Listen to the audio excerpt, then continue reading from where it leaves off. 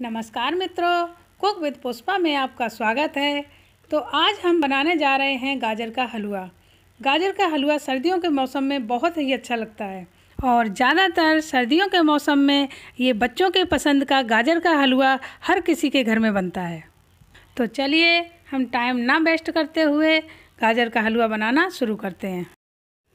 तो गाजर का हलवा बनाने के लिए हमें चाहिए एक किलो गाजर। जो हमने एक किलो गाजर को लेकर अच्छे से धुल लिया है और ये कद्दूकस कर लिए हैं। और यहाँ पर हमने लिया है ये डेढ़ सौ ग्राम खोया और ये दो चम्मच घी, देसी, और ये एक पाव चीनी, और ये कुछ ड्राई फ्रूट हैं कटे हुए। और ये दो इलायची हैं, जिसको मैं पाउडर बना के और हलवा में डालूँगी तो अच्छा फ्लेवर आएगा। और यहाँ पर अब हमने गैस पर कढ़ाई को रख दिया है। और गैस को ऑन किया है। और ये जो हमारा दो चम्मच घी रखा हुआ है, इसको मैं इसमें डालती हूँ। तो दो चम्मच घी मैंने कढ़ाई में डाल दिया है। घी हमारा पिघल गया है। अब मैं इसमें गाजर डालूँगी। अब घी हमारा गर्म हो गया है। अब हम इसमें गाजर को डाल देंगे।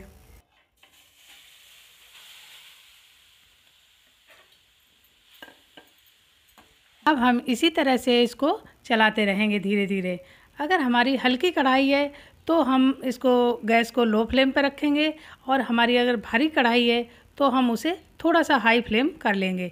यहाँ पर हमने स्टील की कढ़ाई ली है, ये थोड़ी हल्की कढ़ाई है, इसलिए हमने इसको, गैस को लो फ्लेम पर रखा हुआ है और हम धीरे धीरे इसको इसी तरह से चलाते चलाते इसका पानी सुखाएँगे।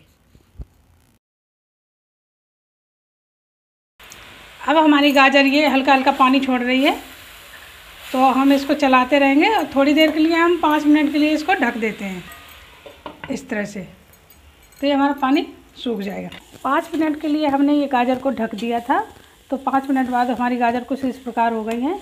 उसके बाद भी हमें पानी सुखाने के लिए कुछ देर चलाना है इसको, क्योंकि गाजर पानी ज़्यादा छोड़ती है। अब ये लगभग हमारा पानी सूख चुका है गाजर का। तो अब हम इसमें चीनी डाल देंगे। चीनी डालने के बाद भी पानी छोड़ेगी गाजर। तो फिर हमें उसे भी सुखाना है। देखिए, अब हम इसमें चीनी डाल रहे हैं।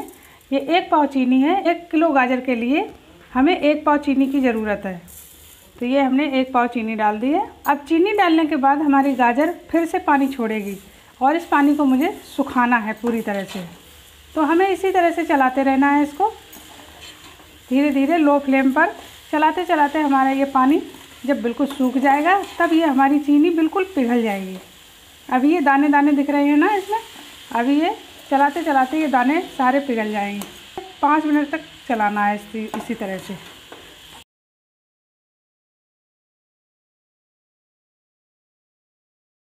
देखिए, आप देख सकते हैं, गाजर में चीनी डालने से इतना पानी छोड़ दिया है गाजर में अब हमें इस पानी को सुखाना है तो ये हमारी चाशनी टाइप बन जाएगी। तो देखिए, हमारे गाजर का पानी अच्छे से सूख गया है और हमारी चीनी भी अच्छे से मेल्ट हो गई है। देखिए हमारा गाजर का हलवा बिल्कुल तैयार होने जा रहा है। अब हम इसमें खोया मिलाएँगे। ये देखिए, हमने घर में खोया बनाया हुआ है। अब हम इसको खोए को मिलाएँगे। वैसे गाजर का हलवा कई तरीके से बनता है। ये हमने इसमें खोए को मिला दिया है इस तरह से। आप गाजर का हलवा कई तरह से बनता है। आप दूध भी डाल के बना सकते हैं, लेकिन ज़्यादा इजी ये होता है। खोए से बनाना ज़्यादा इजी होता है। क्योंकि दूध को काफ़ी देर सुखाना पड़ता है। ठीक है हम इसको अच्छी तरह से मिला देंगे। देखिए, हमारा गाजर का हलवा तैयार हो गया है। काफ़ी अच्छा लग रहा है देखने में। बड़ी अच्छी खुशबू भी आ रही है। खोया देखिए, अच्छे से मिक्स हो गया है। अब हम इसमें ड्राई फ्रूट डालेंगे। हम इसमें अब थोड़े से ड्राई फ्रूट डाल देंगे, जिससे स्वाद और भी बढ़ जाएगा हलवे का। तो ये देखिए। ये हमने ड्राई फ्रूट डाल दिए हैं इसमें। हम इसको फिर से मिक्स कर देंगे। और हलवा में तो बहुत अच्छी खुशबू आने लगी है। बहुत ही अच्छा लग रहा है देखने में। तो अब हम गैस को बंद करते हैं। हमारा हलवा ये बन के तैयार हो गया है। अब हम गैस को बंद करते हैं। और ये जो हमारा इलायची पाउडर रखा है, अब हम इसको भी डाल देते हैं, जिससे हमारा बहुत अच्छा फ्लेवर आएगा हलवे में। अब हमारा हलवा ये बिल्कुल रेडी हो चुका है। अब हम इसको प्लेट में निकाल लेते हैं। अब हम सर्व करने के लिए हलवा प्लेट में निकाल लेते हैं।